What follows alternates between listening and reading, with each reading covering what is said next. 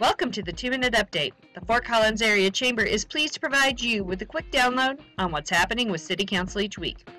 Election season is over, and we are happy to announce the new City Council. We look forward to working with them over the next two years. The newly elected City Council held two meetings since the last 2 Minute Update a regular session on April 18th and a work session on April 25th.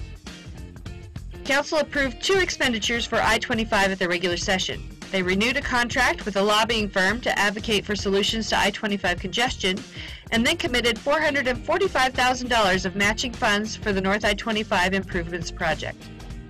At their work session, Council discussed impact fees, including methodology and phasing. Fees for the construction of new projects in Fort Collins could go up as much as 80%.